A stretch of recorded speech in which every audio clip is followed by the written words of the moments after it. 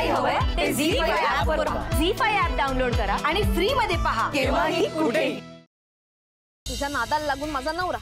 आणि आता तर काय? आता ते मेमरी लॉसचं नाटक करताय. पण तुला कसं कळलं? शोधून काढलं मी. पण मला हे शोधून काढायचंय की ते असं का वागतायत? आणि त्यासाठी मला तुझी मदत हवी आहे. आणि जर समजा नाही केलीस ना तू मदत तर यांना जशी मी शिक्षा करणार ना तशीच तुलाही शिक्षा करणार. आणि मी मदत केली तर? तर आता तुला जे काही हवंय ते सगळं मिळेल. घ्या मग? अचानक गायब काय झालीस? कुठे गेली होतीस मागे? काही लोकांना चांगलाच प्रसाद देऊन आले. अरे अगं हे सगळं नाटक करतोय असं ती म्हणत होती. आणि तिला हे सगळं सगळ्यांसमोर उघडं करायचंय. म्हणजे त्याला ते थर्टी थ्री क्रोर्स एकट्याला लंपास करायचे असतील ना? म्हणून तो असा वागत असेल तुझ्याशी. असं जर असेल ना तर I am ready to help you आणि तू राधिकाला हेल्प कर. आता मला बघायचंच आहे ही शनिया नेमकं काय करते ते. काय? काय झालं घाबरायला? हा? काय प्लॅन आहे सांग. हे बघ मुद्दा इतकाच आहे की हे जसं तुला फसवतात तसं ते मलाही फसवतात आणि ते का फसवतायत याचं कारण मला जाणून घ्यायचं मॅम तुम्ही का बोलवलं? कसा झाला इंटरव्ह्यू मॅडम इंटरव्ह्यू तर व्यवस्थित झालेला आहे. त्यामुळे फायनल कॉल आता तुमचा असेल. ठीक आहे तुम्ही ओके आहात ना? मी यांना लवकरात लवकर निर्णय कळवतो. काळजी करू नका तुम्ही. हे सगळं मी का करते तेही तुम्हाला लवकर कळेल. कसं आहे बघ ना म्हणजे या सगळ्यांचे इंटरव्ह्यूज मी घेतले होते ग कोणी काही प्रत्येकाचे दिवस येतात दिवस बदलतात. कंपनीच्या काही फॉर्मॅलिटीज आहेत थोडी कामं आहेत. ती झाली की दोन दिवसात जॉईन व्हा.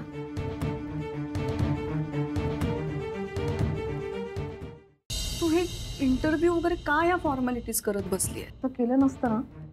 तर आलेल्या संकटापासून पळ काढल्यासारखं झालं असतं. आपल्याला हे तर कळलंय की गुरु किती खोटं वागतोय. पण यामागचं नेमकं कारण काय आहे हे मला जाणून घ्यायचंय सत्य लोकांसमोर आणायचंय मला. आणि सगळ्यात महत्वाची गोष्ट म्हणजे कोंडी करायची आहे यांची. तू खूप दिवसात पिझ्झाचा हट्ट धरला नाही ना? आज आपण पिझ्झा खायला जाणार आहोत. आणि जर समजा मला नाही जमलं ना तर आज बाबांबरोबर जा. थँक्स यार रोहित. आज तुझ्यामुळे किती दिवसांनी मी रेस्टॉरंटमध्ये आली आहे या दोघींसोबत हा तिसरा कोण आहे? वाव सो हॅन्सम मला खूप आवडलंय yeah he is my new boyfriend wait I help you again okay please finally आपण स्टार्ट करूया आपण मूवीला जाऊया ठीक आहे चलो। चार अच्छा म्हणजे पस्तीस करोडच्या चोरीमध्ये तू ही इनडिरेक्टली इन्व्हॉल्व्ह होतीस. नो हाऊ इज़ इट सांगितलं तुला प्लॅन गॅरीचा होता दॅट इट दॅट्स इट तुला लाज नाही वाटत का ग हे सांगायला? त्याने तुला साधे पस्तीस रुपये कमवता येत नाही. तू पस्तीस करोडची भाषा करतेस अगं मंदिरामध्ये लाडू चोरणे इतकं सोपं नाहीये ते. असं कुठे म्हणते मी? मग? तुला जर या चोरीविषयी माहिती होतं तर तू आधीच का नाही सांगितलंस? बोल का नाही सांगितलंस? अगं ती कशी सांगणार? तिचाही वाटा असणार ना त्यात. हॅ.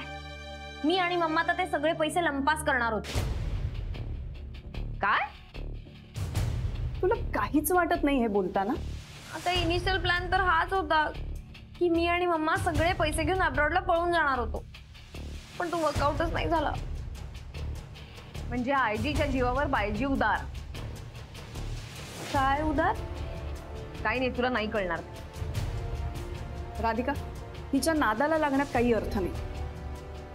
आपण आत्ताच्या आत्ता पोलीस स्टेशनला जाऊया आणि कंप्लेंट करूया. Police police station? Radhika please police station कशाला आहे बघ? गॅरीने मला या सगळ्यात इन्व्हॉल्व्ह केलं होतं ग. आय स्वेअर माझा खरंच काही संबंध नाही. आणि आता तू तुझ्यामुळे मी हे सगळं करायला लागले. तू सांगतेस तसं मी करत होते. तू म्हणली होतीस की मी सेफ होईल. मग हे सगळं काय राधिका हिच्या गोड बोलण्याला भुलू नकोस. आत्ताच्या आत्ता पोलीस स्टेशनला चल ऐक माझं. किंवा त्या इन्स्पेक्टर शिवानीला फोन कर. नाही रेवती थांब. आधी सगळं वदवून घेऊ दे हिच्या तोंडून मला. उरलेले पैसे कुठे आहेत कोणाकडे आहेत हे सगळं सांगू दे तिला. मग तिला सोडायचं. त्याशिवाय नाही. मग मी सेफ होईल. मग मी जाऊ. नाही. अरे बट वाय कारण माझं बोलणं झालेलं नाहीये. हे बघ तन्या आत्ता आपण इथे भेटलो होतो आपल्यात काही डिस्कशन झालं. हे तू कोणालाही सांगायचं नाही यांनाही सांगायचं नाही. आणि जर का तू हे कोणाला सांगितलंस तर यांच्याबरोबर तुलाही जेलची हवा खायला गेला अधिका यार दिस इज नॉट फेअर यार. तू मला जे जे सांगत होतीस तसं तसं मी करत आले मी सगळं केलं. नाही अजूनही केलेलं नाहीये. यापुढे तुला ऐकावं लागेल आणि करावं लागेल.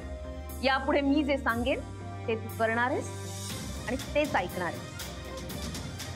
आणि जर तसं नाही केलं तर गाठ माझ्याशी अशाने जास्त हुशारी करण्याचा प्रयत्न केला तर मी काय करणार आहे तुला माहिती आहे ना? हो. गुड आता मी जाऊ. निघ. रेवती हे असं वागतील असं वाटलंच नव्हतं मला. गुरुनाथ सुभेदार आता तुमच्या पापाचा घडा भरलाय. आता पाप मी काय करते ते? मम्मा मी ना तिकडे खूप सारी इन्फॉर्मेशन राधिकाला देऊन आले. म्हणजे काय बोललीस तू? काही नाही तिला हेच सांगितलं की गॅरीने कसे थर्टी फाईव्ह करोड चोरले. मग? मग काय? मी सांगितलं तिला की आपल्या दोघींचा त्याच्यात काही संबंध नाही आहे थँक गॉड तू आपलं नाव नाही घेतलंस. फॉर नथिंग आता नाही सोडणार. काय बाई? काय झालंय? सगळं ठीक आहे ना? ते शेतकऱ्यांचे पैसे चोरीला गेले होते ते त्यांना परत द्यायचे. दोन दिवसात. सगळ्या कंपन्यांनी मिळून फतवा काढलाय तसा. नाहीतर आपल्यावरती लिगल ऍक्शन घेतील. याच गोष्टीची वाट बघत होतो मी. वा आता हीच वेळ आहे हिरो बनायची गुरुनाथ. पैसेच हवेत ना राधिका. मी बघतो ना. पस्तीस करोड रुपये हवे हा, ठीक आहे ना मग त्यात काय? मी बघतो तू काळजी करू नकोस. मिळाले का पैसे? उद्या सकाळी मी ऑफिसला पैसे घेऊन वेळेत येतो ओके? उद्या मिळतील पैसे.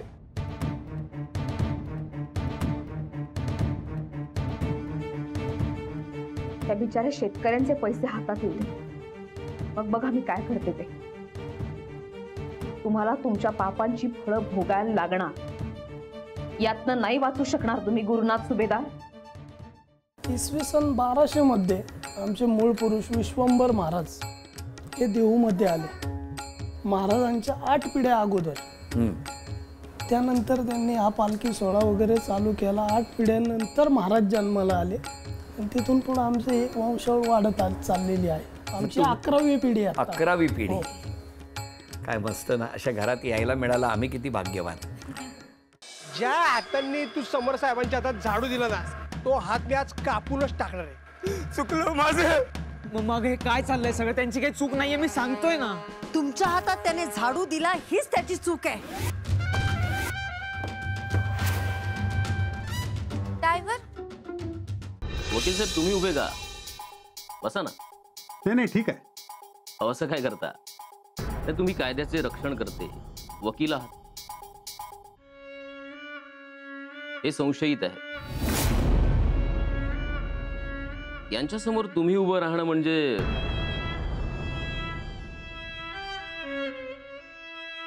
अण्णा उठा. हे हो असू दे असू दे.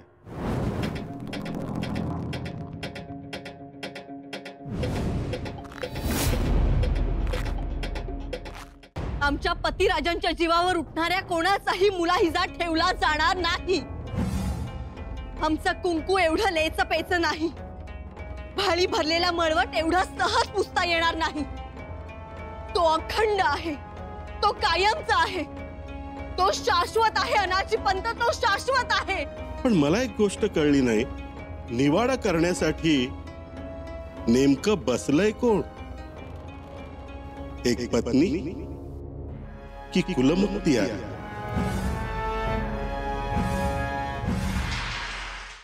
राजनंदिनीला तू मध्ये आणू नकोस. नाहीतर तुझं आयुष्य बर्बाद होईल. माझं आयुष्य बर्बाद होईल का तुमचं झेंडे? राजनंदिनीचं आयुष्य तुम्ही बर्बाद केलं. मला मारायचाही प्लॅन तुम्हीच रचलात. आणि आता मलाच सल्ले देताय. इथून पुढे विचार करून वाग. आता विचार करायची वेळ तुमची आहे झेंडे. अरे काय किती येळ कधी आणतोस त्याला? पाहिजे अगं मला तर कायच कळण झालं काय करायचं ते. बोमला. काय झालं आता?